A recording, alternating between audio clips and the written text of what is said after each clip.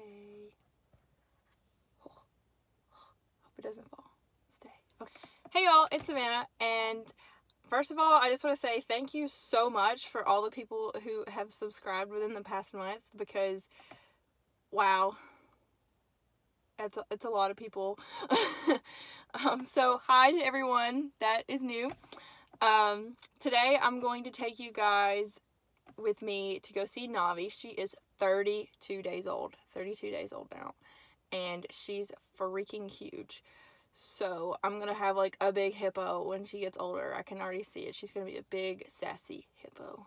My dancing hippo. Anyways, I figured I would take you guys along with me because she has gotten bigger and she has like basically unfolded a little more and she started to look more like a foal and less like a little anorexic little twiggy thing. So she definitely is filled out a lot more since last time you guys saw her. So I just figured I would do a little progress video that you know anyone can see or I can look back on a couple years from now maybe and just be like oh I remember when you were so sweet and little and now you're like a big demon. So hopefully that won't be the case. But for those of you that don't know I got a foal and yeah this is go this is my first foal so I've never done it. To catch you up to speed I'll put some cards up here on why I'm getting a new foal and what she looked like at 12 hours old I guess going to meet her for the first time or you guys meeting her for the first time. So be sure to check that out if you're interested. If not it's cool. So enough of me talking. Let's go see the foal the baby horse They're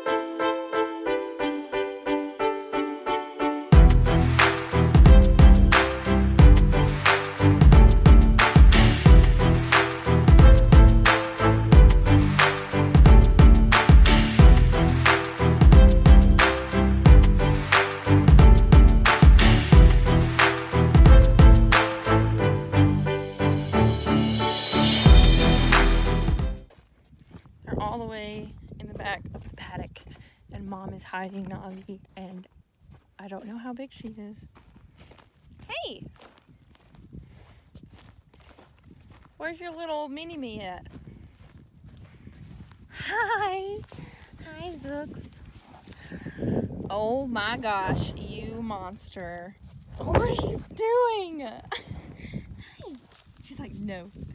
Get away from me. Hi. You how big you're starting to you're starting to shed out your baby fluff.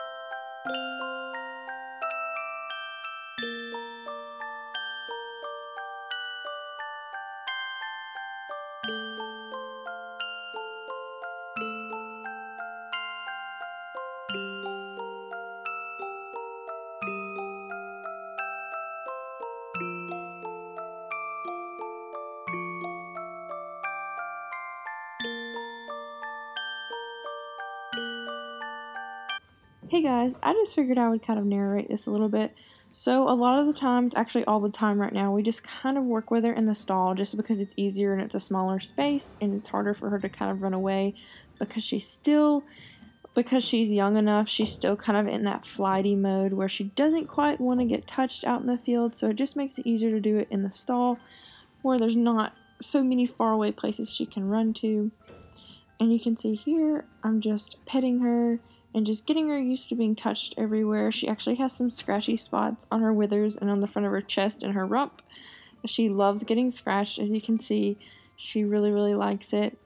Um, and if you notice the way I move her around, I have one hand in front of her chest and the other on her rump, and I just kind of push and pull her around because she's still too young to kind of pull her around by her head, even though she does have a halter on. We only have the halter on when she's supervised in the stall, just getting her used to it, jingling and jangling on her face. That's why both of the ends aren't really tucked in because we just kind of slip it on for a little while. Here you can see I'm kind of pushing her back against the wall because I'm going to pick her feet up. And sometimes they like to go up and backwards, kind of like a little backwards rear.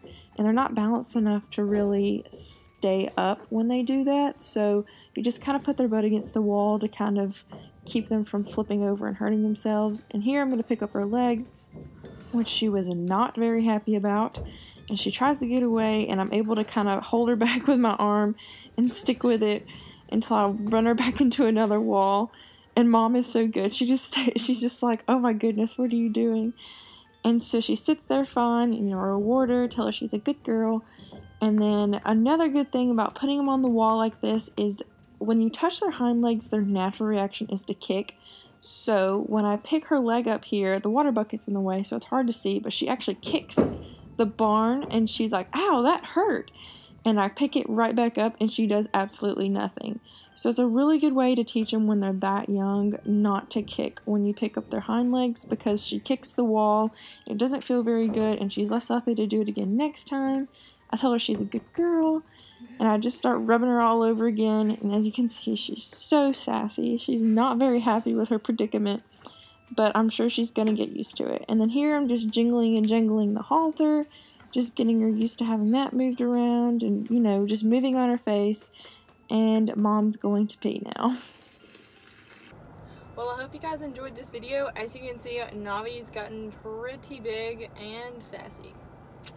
So we will see what she's going to be like in the next few months, next few years. Hopefully she won't be too much worse. Hopefully she won't be so sassy. Doubt it. But nothing like a sassy horse to keep you grounded.